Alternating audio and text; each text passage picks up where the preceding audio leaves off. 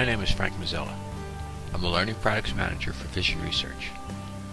I'm here to present a series of PCC Phantom Camera Control software tutorials intended to show you many of the various features and processes incorporated in PCC. In this Continuous Recording Part 2 with Image-Based Auto Trigger tutorial, we will cover using continuous recording combined with the image-based auto trigger feature to trigger the camera. Continuous recording can be used in a variety of ways to automatically record a cine into the camera's memory, then immediately edit and save that cine to a user-specified location of an attached hard drive without any user intervention by providing a soft or hard trigger to the camera.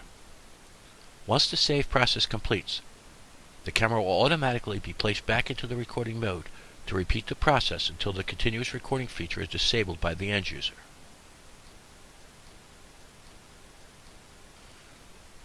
The image-based auto trigger feature should never be used in applications where miss or false triggering cannot be tolerated, or where a false trigger could cause harm to people or property. The hardware signaling available in some image-based auto trigger modes should only be used to synchronize multiple phantom cameras together and should never be used to trigger or control any other external device or event. Consequences resulting from system failure, false triggering, or misuse of this feature are the sole responsibility of the user. For this tutorial, I'm going to rely upon a change in the live image to trigger the camera, and then, by using the continuous recording feature, edit and save the event out to a user-specified location, then return back to the recording mode and wait for the next event to occur. I'm going to leave all the cine settings as is and quickly check that the trigger position is set so we trigger the camera in the middle of the cine by selecting the number of post-trigger frames we need from the last pull-down selection list. As we did in the first continuous recording tutorial, I'll need to scroll down and open the continuous recording selector. Then scroll down some more to see all the continuous recording options. I need to click the Browse button and navigate to the folder the Cine files will be saved into. In this case, my C colon, program files, Phantom, Cines, Tutorial Cines folder. I need to assign a file name that can be used to name multiple files. So I need to use the Phantom file naming convention to do this. You can find out more about the Phantom file naming convention in the PCC supplied help file.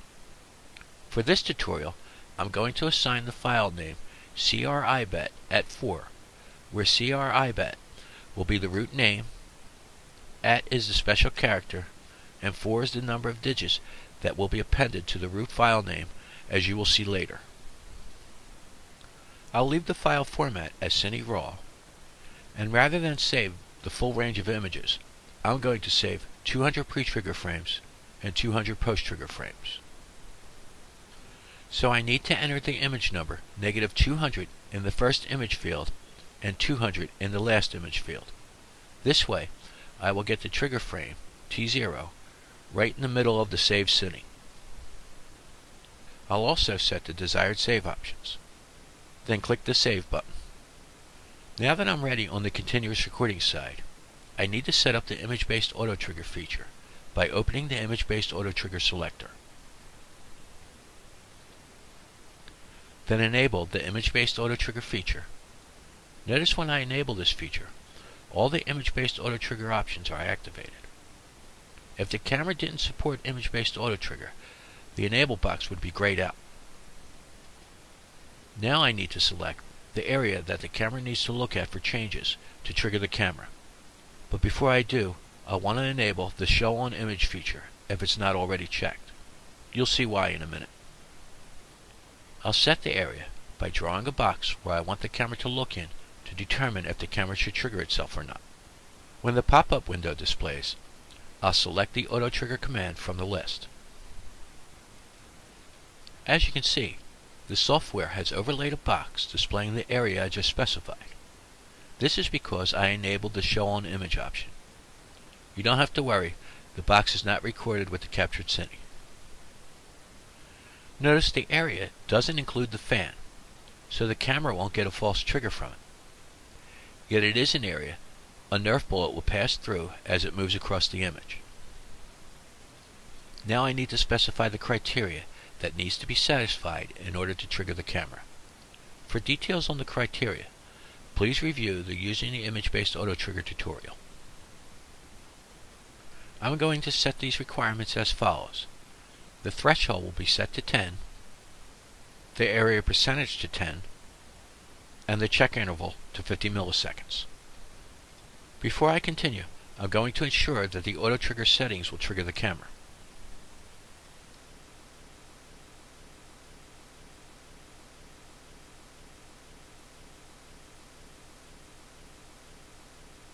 As you can see, the camera has triggered.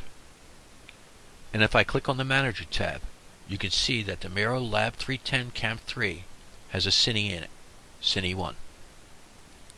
And if I click on the Play tab and jump to the trigger frame, you can see the Nerf bullet passing through the area I specified to trigger the camera. So now we know our image-based auto trigger optioning is set up correctly and we're good to go. Now I'll scroll back down to the continuous recording area and enable the feature.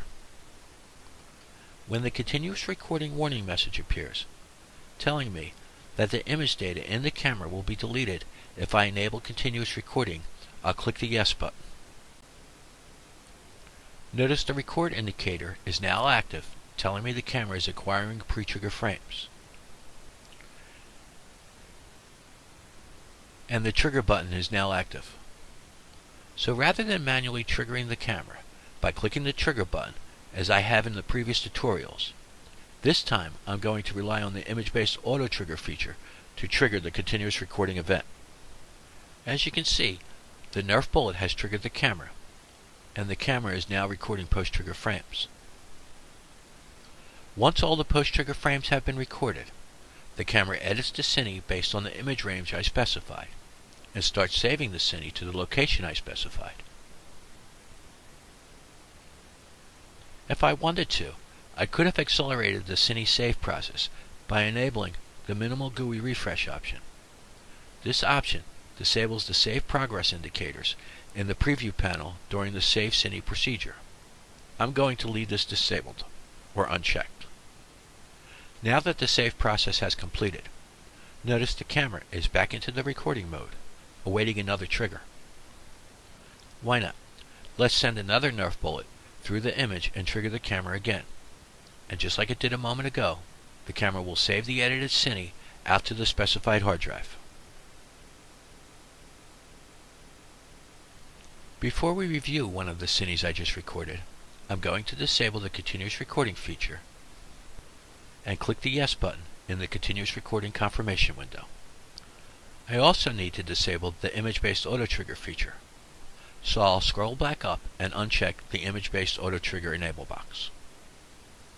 To review the save cine, I need to click on the Open File toolbar button and navigate to the folder where the file was saved. Highlight the file I want to open, then click on the Open button.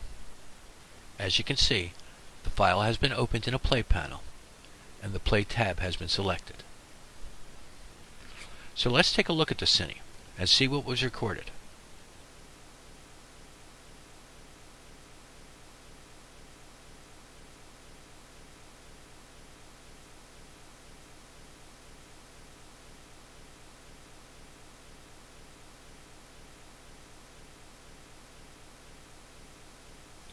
Let's start by jumping to the trigger frame by clicking on the T or trigger button.